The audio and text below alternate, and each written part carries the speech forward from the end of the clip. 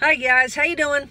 Did you know that tomorrow, Thursday, October 6th, is Take Your Bible to School Day? I mean, I never heard this before, but it's on there. You can DuckDuckGo it. You can check it on Google, whatever. Tomorrow is Bring Your Bible to School Day. I bet a lot of kids don't even have Bibles. If you're courageous enough, tomorrow is Bring Your Bible to School Day.